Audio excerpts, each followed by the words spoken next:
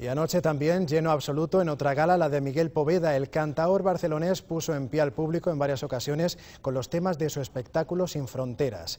Poveda arrancó los primeros aplausos con esta minera.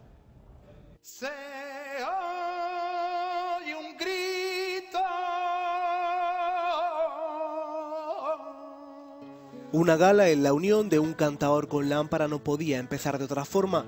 Poveda comenzó cantando por mineras y sobrecogió a un público entregado. A su vera el guitarrista Juan Ramón Caro, el mismo que le acompañó hace ahora 17 años cuando ganó el máximo galardón flamenco del Festival del Cante de las Minas.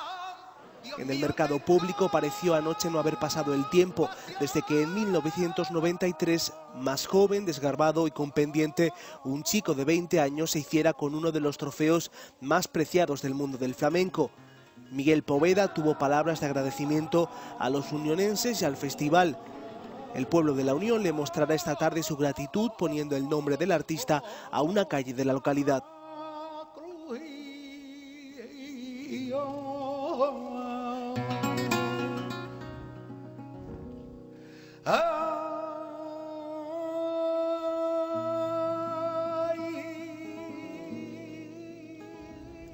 Hoy cerramos con Poveda. Tienen más noticias en nuestra página web y en Onda Regional de Murcia. Adiós, hasta mañana.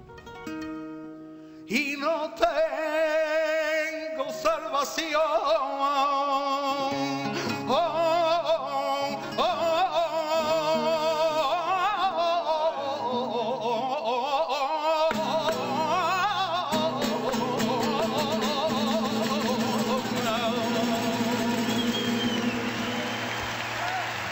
どうも。